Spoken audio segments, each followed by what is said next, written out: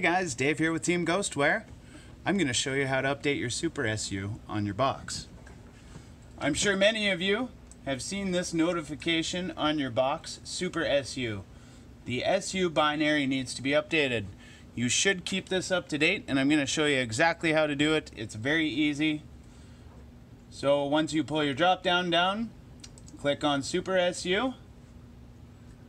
You'll be presented with this.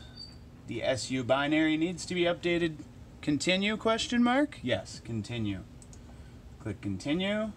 Never click TWRP. Always click normal.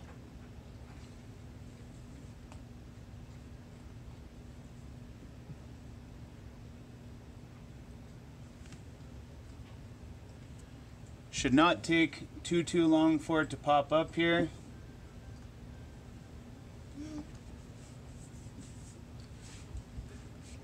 So you'll be presented with this after. Always reboot after you are done.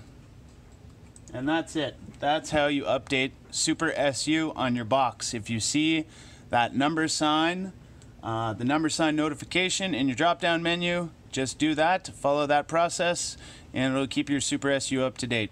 Thanks for watching, everybody.